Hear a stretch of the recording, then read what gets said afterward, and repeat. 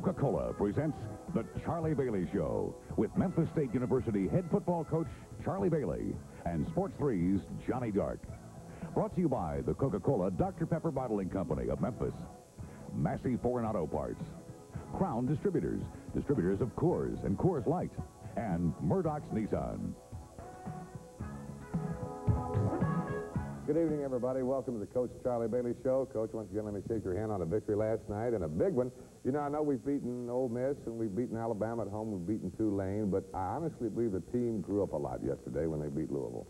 They really did. Played well on all phases of the game. So whenever you're mentally ready to play, and we were yesterday, you run a little harder, you tackle a little harder, you rush and pass a little bit better, you do all things better. And yesterday we did that and played a complete football game, and I'm real proud of the football team and I and the coaching staff. I think the coaching staff did a great job. They had a great game plan, and they brought everything together. And uh, like I say, we put offense, defense, a kicking game, all of it together and played one great football game. You know, when the Tigers are playing like they did yesterday, I believe they could hold their own with just about anybody in the country.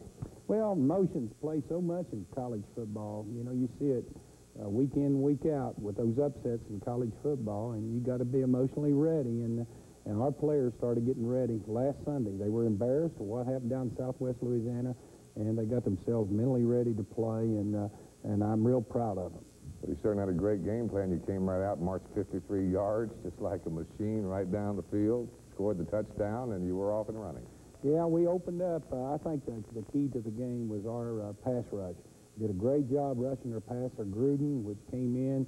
You know, he had a lot of credentials, and he uh, and we just got after him real good. Uh, Marlon Brown did a great job rushing the passer and pressured him all day long. And then our offense took advantage of most the situations, came up with some big plays for us. A big win, 48 to 3, and we're going to take a look at the game tape in just a minute.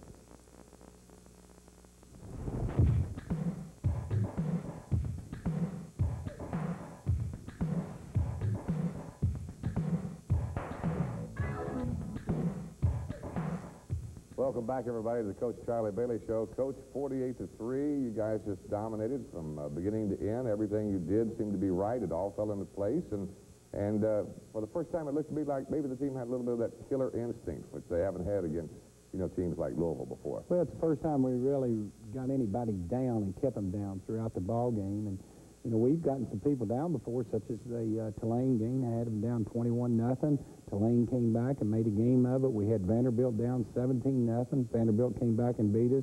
This first time, like I say, that we've really kept somebody down, and uh, and uh, they just kept the pressure on the entire afternoon. Everybody played in the ball game. All the seniors, the seniors just did a great job building up to the ball game.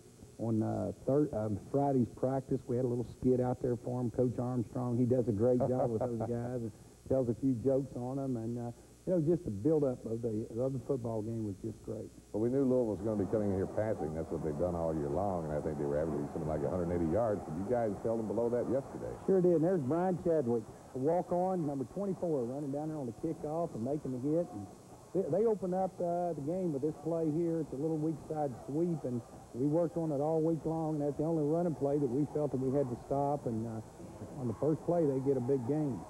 Here's uh, Marlon Brown coming through from the backside on pass rush, and nobody was there to pick him up, and uh, Marlon made a big play for us, and uh, we just pressured that guy all day long. And Space Dog looked good yesterday, didn't he? He sure did. He played like a Space Dog. Uh, we open up the game here with a double screen where we set the tailback. He goes uh, left for the screen. Fullback goes to the right there. Uh, Wayne Pryor made a big play on the, on the double screen and uh, sets up our first touchdown. There's Wayne running the football on a down there near the goal line. Uh, here we are in our wing set. It's John Norman going through, almost going in for a, for a score. And then uh, Timmy Jones, here he runs quarterback sneak, goes in for the touchdown. Since we've uh, gone more, uh, got away from the power I down there and gone more to the, call our wing set, nobody's really stopped us uh, whenever we've gotten you know, in, in scoring position or even on uh, short yardage situations. We're really doing well with our wing set.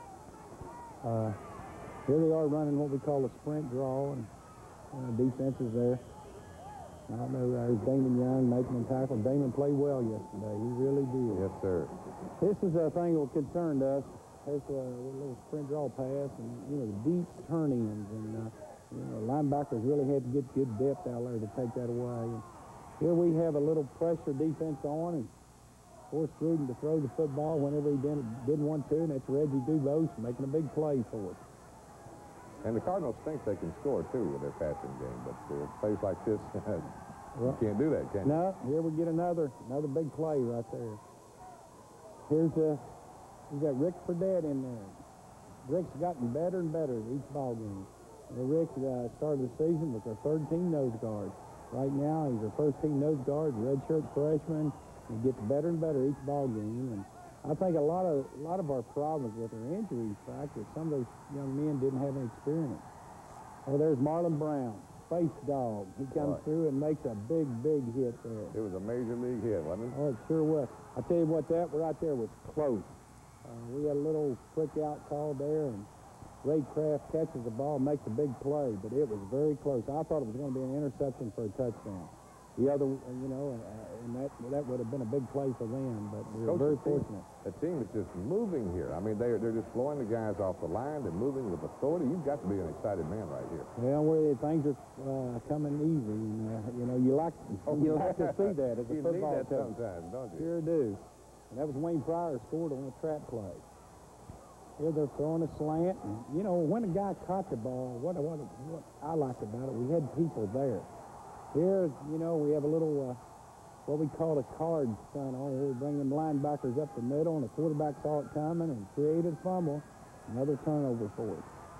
There's uh, Tim Jones. Tim, once again, had a good day yesterday throwing to Ray Kraft over the middle for completion. Tim has gotten better and better each ball game. Uh, you know, he overcame that concussion, and played quite well. Here they are throwing a little bootleg. And coach, the defense Eddie really Morris. pursuing. They're just they're just swarming these Yeah, guys. they are. Here we have a blitz on, and look there. There's Randall Cougar making a big play, interception. That's his Boy, you don't, year. you know, you don't, you don't get to make those plays very often, and you know, these defensive backs, whenever they do, I like to see them get excited like that. Here's Tracy Holmes. You know, Tracy hadn't played any at all this year, and he came in and ran like heck. He's a senior out of Texarkana. Here he's running there, and uh, had a big day yesterday, and I was real proud of him. He has his legs back and ran real well. Here's Billy Moody, and what we call him, M. Lee down there. Billy cuts it back, goes in for a score. Billy played well also yesterday. I think Billy had three, Three touch- touchdowns, Three yeah, touchdowns. yeah. He sure did. Here they're running a trap play, and there's Damon Young them, make them tackle. Here they uh, throw a little slant pass, and uh, what we we worked on that all week long. You know, getting in the throwing lane, and Damon was there and caught the pass, and I'm gonna get on to him for not outrunning that uh, that running back now through there. And here we run a little what we call a naked bootleg, and there's Billy Moody wide open in the end zone for a touchdown. Uh, that you know set up another score. That came real quick like. A great play right there. Now, you know, we go up 27 nothing, and I, I like to see things like that. I really do. It, You know, it certainly makes you, it easy. yeah, it makes you feel a little bit more comfortable there on the sideline. Uh-huh. It does. And the guys are st- this, is, this Yeah. is where these guys are still coming in here making these tackles. Yeah, that's Nico Perkins making a big play on the screen pass over there. Great play to Nico. There they run a sweep. Marlon Brown chases it down. Marlon is a good football player. He really is. There's Eddie Moore making another interception. His defensive backs played well yesterday. Well, you said all year long if these guys do this, they're going to get the interceptions, they're going to get the sacks, and uh, they, they will be your game plan. Yes, and uh, you know Eddie's one of those guys that came off the bench and done quite well for us. Here we're trying for the home run. Well, we almost make a big player. Charles Wilson, he came close catching that. He he, he almost made a great catch. He's done a great job, too. Uh, you know, I don't know what it is, Coach, but there's something about those all-blue uniforms that I really like, and uh, I don't know if, if it has anything to do with inspiring the team or not, but you've got a great first half, and we'll be back to look at the second half in just a second.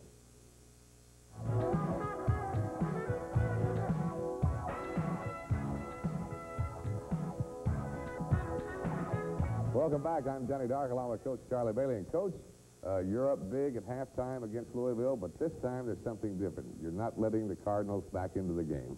That's correct. We talked about that at halftime. You know, we had been up before, and uh, we didn't want to blow this lead. We wanted to go out and play the second half exactly like we did the first half. You know, we started slow that second half. Uh, we really did, but then we picked up. Uh, you know, I was concerned there. You know, we let them go in for a score, and uh, you know they used up a lot of clock doing it, but uh, it concerned me. But our offense came back and got a field goal, and then from that point, the defense picked up on it and came up some big plays, and then we, you know, we scored a few more points. Well, that's that's the difference. That's what I said earlier when I